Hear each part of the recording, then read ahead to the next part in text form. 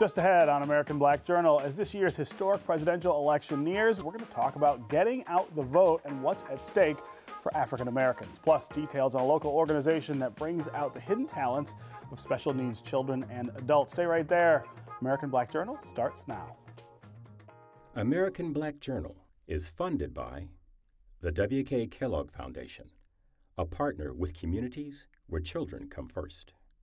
How does diversity bring energy to us all? At DTE Energy, we believe that it's the contributions of all that build great communities. As a company, we grow stronger by welcoming the unique perspectives of everyone. As community members, we support our state's broad culture and heritage. From working closely with women and minority owned suppliers to embracing our local cultures, DTE Energy is powering diversity. The DTE Energy Foundation is a proud sponsor of Detroit Public Television.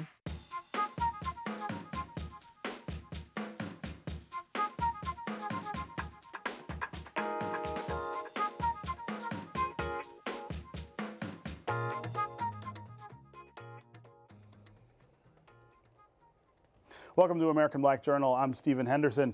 On Tuesday, America is going to elect its next president. The successor to President Barack Obama will take over during a time when Black Lives Matter has become a widespread movement in this country. There's a lot at stake in this election for African Americans, and it's imperative that you make your voice heard. Your vote, your vote does count. Joining me now to talk about the importance of taking your souls to the polls is the president of the Detroit branch of the NAACP, Reverend Wendell Anthony. As always, thanks for being here. Thanks, Steve. Good to be with you. Uh, you know, whenever I ever hear that phrase, take your souls to the polls, that's a phrase that I came up with. I was going to say, that's in, your phrase, not it, mine. And, and, my only regret, Stephen, is that I did not copyright and market that because so they're using that all over the time. Matter of fact, you would have had to pay me right. just to say what you said. That's but right. Take your souls to the polls. It's time to do that right now. That's right. Absolutely. So turnout is what I think this election is Yes. gonna is gonna turn on. Uh, I don't, I, you know, we were talking about this before. I don't think there are more people who support Donald Trump than support Hillary Clinton, but I'm worried that more people who support Donald Trump Right. will show up. I, I'm concerned about that too, um, Stephen. We have to get out to vote and vote like we 25 points behind. Matter of fact, um, people are talking about enthusiasm. They're talking about the millennials, whether or not they're going to come out and vote. They're talking about um, Obama and Michelle. They're gone. Obama's not on the on the ballot. Uh, there are two people on the ballot at the top. One is named Donald Trump. The other is named Hillary Clinton. There's a big difference. Those are big differences. And I would simply say to people who are wrestling with what they're going to do, close your eyes and take the names off the table. One candidate supports the Voting Rights Act, one does not. One candidate wants to raise income equality, another says you're already making too much money. One candidate has negated and humiliated every group in this country. One candidate is trying to unite folk in the country. One candidate has no government experience. Another candidate has served in any capacity of government you may think of and has the most experience of any person ever running for president. One candidate fought for racial discrimination in housing. Right. One candidate fought against it. Now, if you were to ask me on the basis of that, who should be president, isn't it obvious, be a Stephen? I mean, I know you can't just come out like that, and, and no, we don't endorse. But I'm simply, if, if y'all call me after the program, I'll be glad to tell you.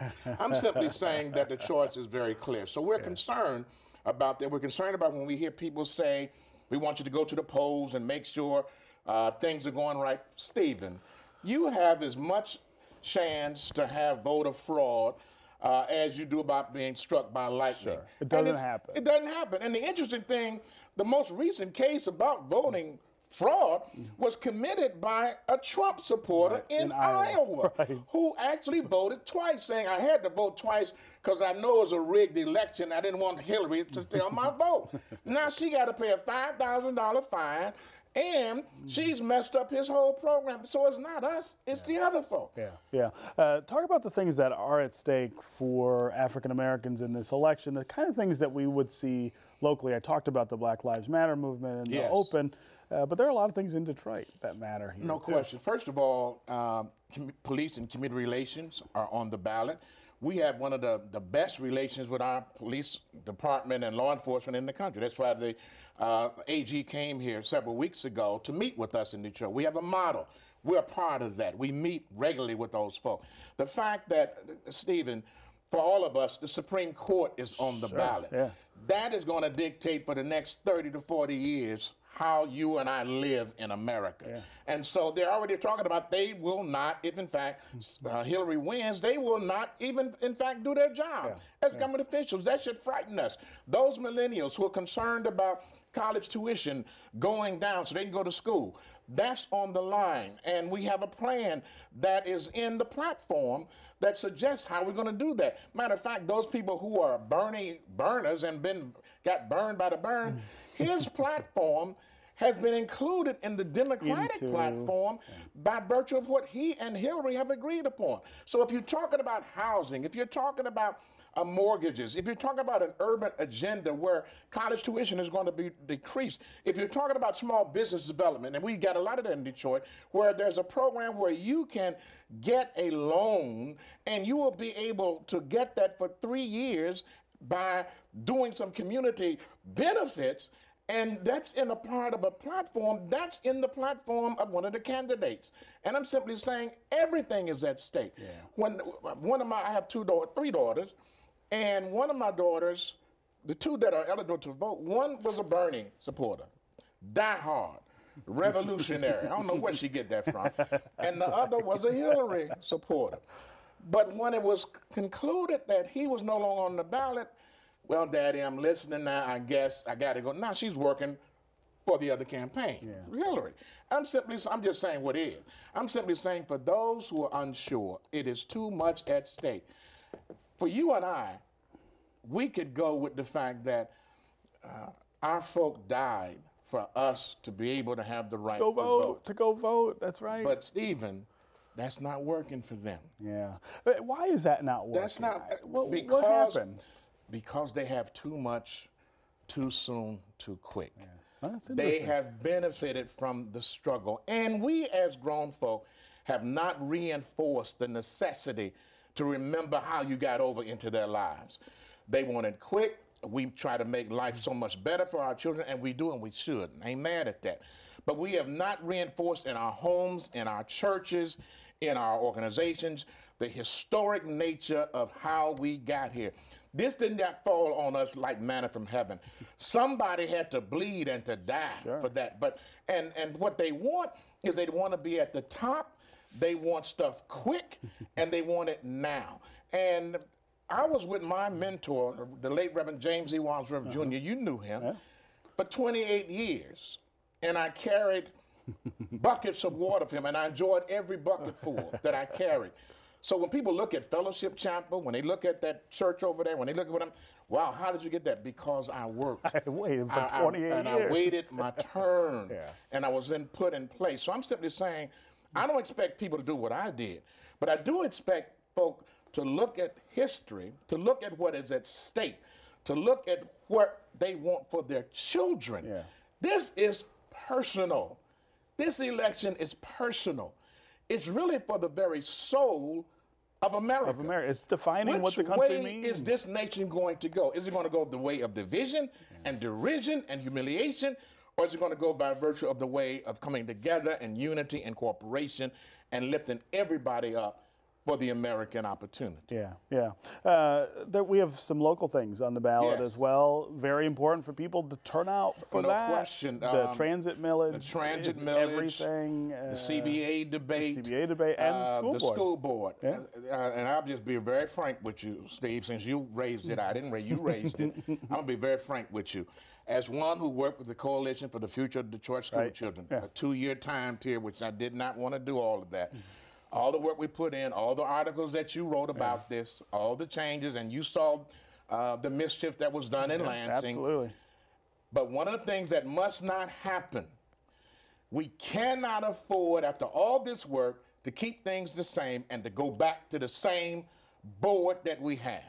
I'm saying that on your program. All right. We You say it. need a new board of education. And there are several people who are running that are well qualified to fit, for, to fit that bill. It would be a travesty of justice for us to go right back to the same board. Not that they did all of this, because they did not. They didn't. However, we need a new opportunity here.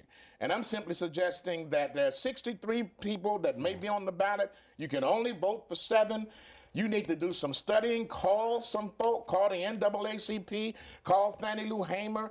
Uh, call Stephen Henderson. There's some people that we can recommend Yeah. or some thoughts around that so we don't get jammed again. And the I Wayne State University uh, Board of uh, Governors. right, uh, the Board of Governors. I, have said for a couple months now that I'm impressed by the people among that 63. Well, I'm it's a good group of It's a people. good, Angelique Peterson There's a lot of uh, really good, Ryan uh, Mack. yeah. Uh, I mean, you got some uh, Leslie Andrews. You got um, a, a bunch of folk. Misha Stallworth. I mean, um, you know, Deborah Hunter Harvill, Iris Taylor. Uh, you have um, some folk are talking about Sonya Mays. I'm simply saying there are some good people that are running. Yeah. Everybody can't win, but we can make sure that we vote the whole ballot. I know it's a, a long ballot. It's three pages, but you got to stay in line. You got to go vote. And then on Monday, you can go and vote absentee. Right. You don't have to stand in line. You can take your time. You can go down to the city clerk's office. You can call the NAACP 313-871-2087. We can help you with that. If there's transportation needed, if there's information for seniors that they need information on how to negotiate out, there are people who are standing by. If you want to volunteer, if you want to get it out, we got to come and take our souls to There the are no polls. excuses on no, Tuesday. If you if you eating, you gotta be voting. If you ain't voting, you should not be eating. I tell my people that all the time. If you got somebody living in your house and you feeding him or her, then they best be out there voting. Get out and uh, vote. Get out and vote. That's how they keep the food coming on the plate. Right. I'm simply saying that, Stephen, I've never seen an, an election like this. I don't think anybody has. It should not, it really, between you and me, it should not be this close. No, it shouldn't. It should It not shouldn't. even be an issue. One person is like that.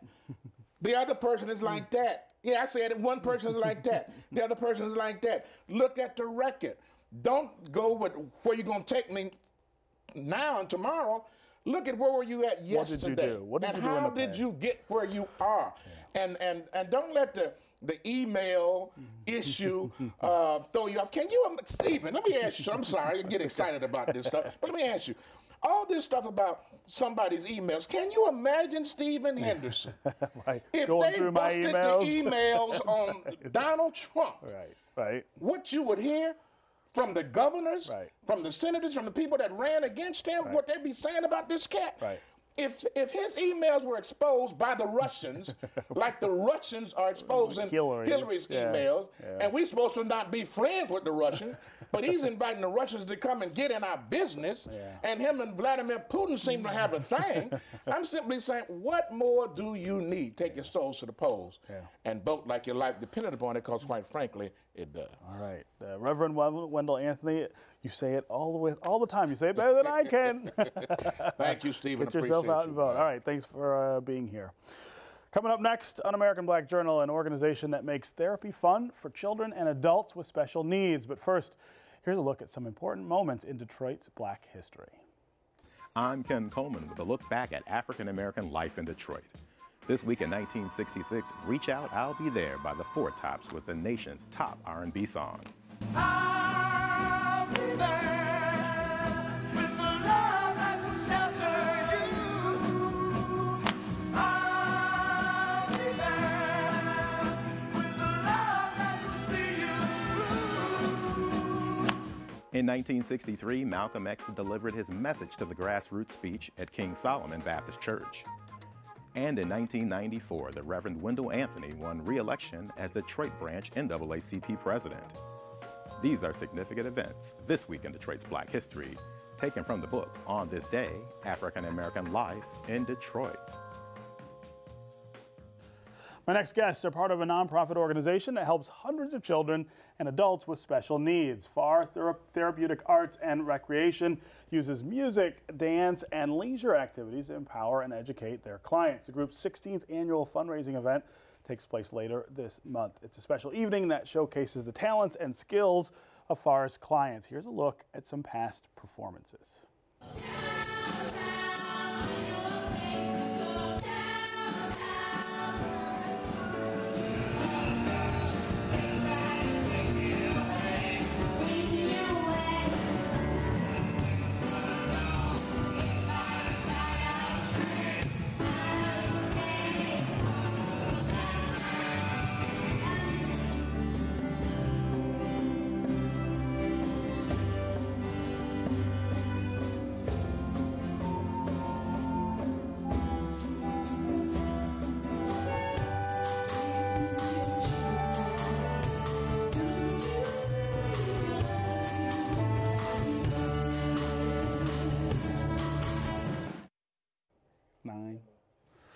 Joining me now is the president of FAR, Pamela Ayres, along with dance therapist and counselor Kandice Moss. Welcome to American Black Journal. Well, thank you for having us. Thank Steve. you. Absolutely. I, I have to say, I didn't know about FAR uh, before I saw this on the schedule for the show. That- What a, what a great idea and what a fabulous way to sort of tap into that hidden human potential that, that, uh, that we all have.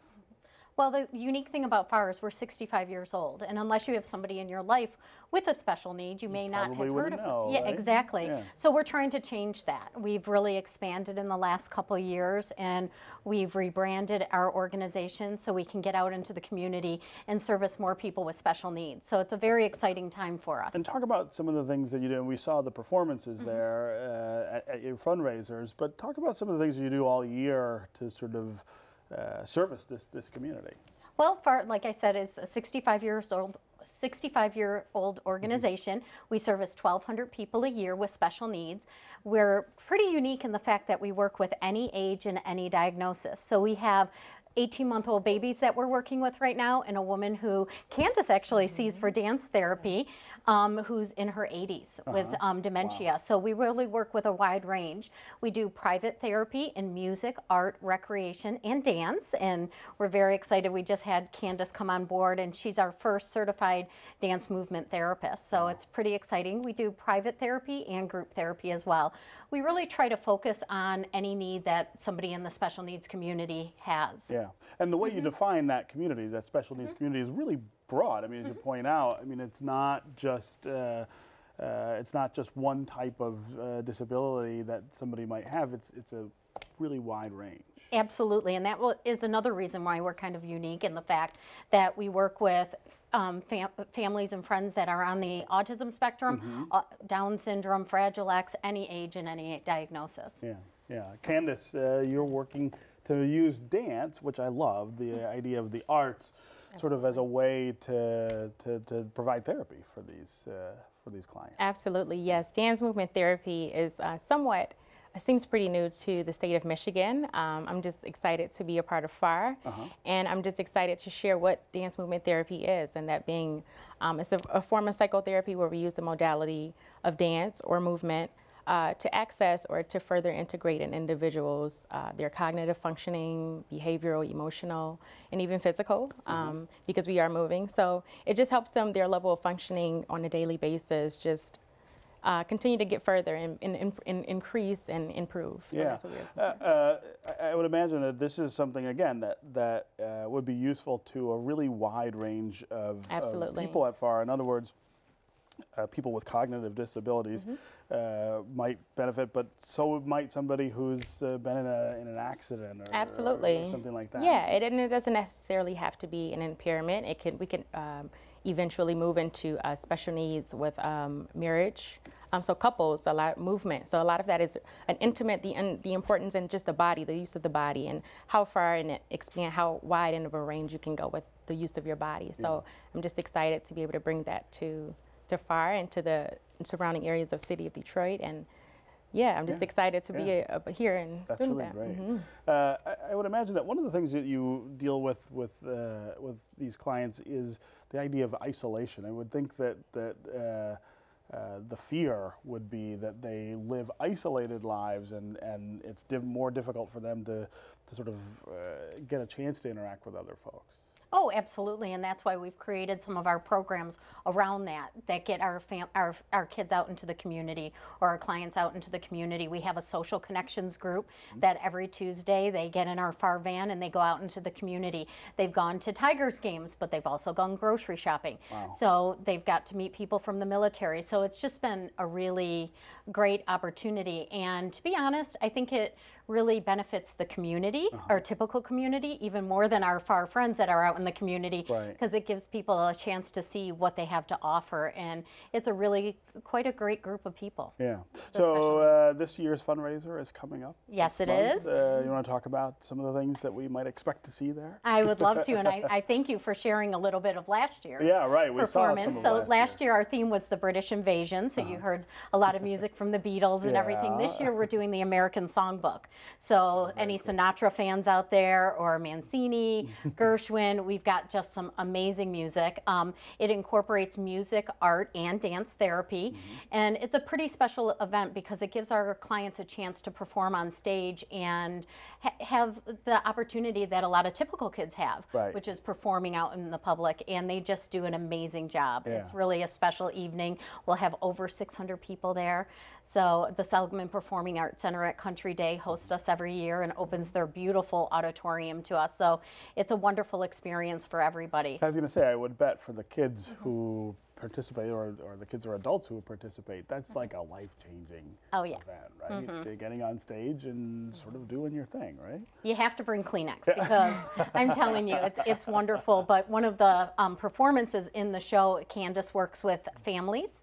So she has dads dancing with their daughters with special needs, moms dancing with their sons, and it's pretty, it's pretty amazing. Yeah. And they work so hard for the last six say, how long does it take to prepare uh, for this event every year? Well, our therapists work with the clients um, sometimes in their individual sessions, but then every Saturday for about six weeks prior to the event, we have big rehearsals and they work very, very hard. It's a huge commitment because some of the some of our youth that are performing and our adults that are performing, um, they're giving up their whole, you know, a good portion of their Saturday Sure, right. to um, rehearse and everything. But it's Yeah. it's so, Kandice, are the dads and daughters and moms and Oh uh, goodness, sons ready? they are doing awesome. I can't wait to see for everyone to see how hard they've been working. Yes, Yeah. extra time and the extra effort.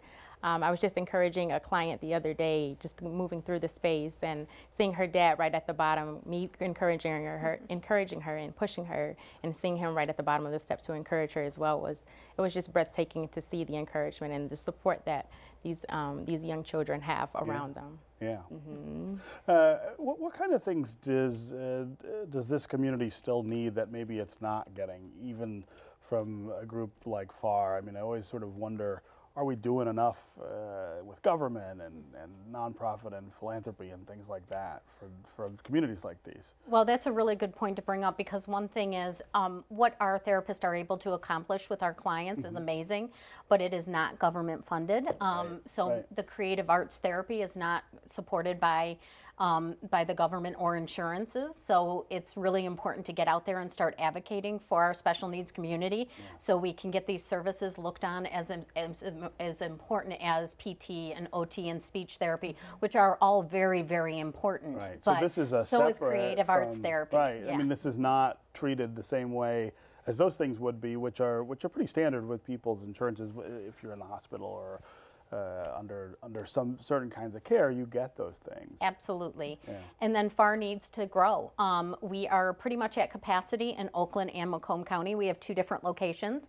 Our headquarters is out of the First Presbyterian Church in Birmingham. Okay. They've gifted us space for over 30 years, so we don't have the overhead of rent and electricity bills and maintenance. So we're very lucky. We also have a um, church out in Macomb County that gifts us space as well. So it's time for us to move into Wayne County. County and expand into Macomb County a little bit more. Yeah. Because with all the transportation issues in this state, Absolutely. people can't get to us, so we're going to have to go to them. Yeah. We also provide therapy in nine different public school systems, so it's a really great way to expand our reach because sometimes kids in the public school system, they're not getting art or music or gym because Right. of their ability. So we are able to provide that by providing our art therapist and our recreational therapist out into the Yeah. public schools. And what you need to do those things is money. And We need money, right? yeah, and that's why our Far Friends event is so important. 100% of the money that we raise from that event, it's underwritten by the Vollbrecht Foundation, so anything that we make off of that event goes directly to our Goes to scholarship Oh, fund. very good. And uh, because over a third of our clients are on scholarship Yeah. to um, get our services. So that's a very important day for us. Yeah. Well, congratulations on all the great work. Thank and you. on the upcoming fundraiser. Thank you. And thanks for being here. Thank you. Oh, thank you for having us. Yes, absolutely. Mm-hmm. All right, that's our program for today. Thanks for watching. You can get more information about our guests at AmericanBlackJournal.org, and you can always connect with us on Facebook and on Twitter. We'll see you next time, and make sure you vote on Tuesday.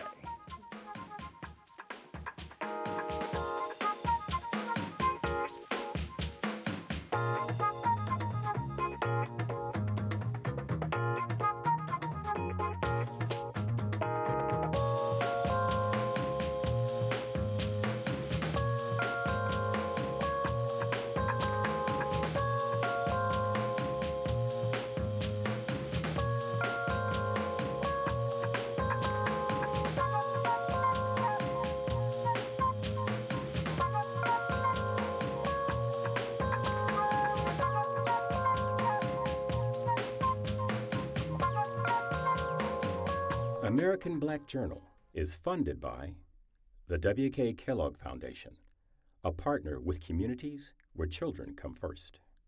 How does diversity bring energy to us all? At DTE Energy, we believe that it's the contributions of all that build great communities. As a company, we grow stronger by welcoming the unique perspectives of everyone. As community members, we support our state's broad culture and heritage. From working closely with women and minority owned suppliers to embracing our local cultures, DTE Energy is powering diversity. The DTE Energy Foundation is a proud sponsor of Detroit Public Television.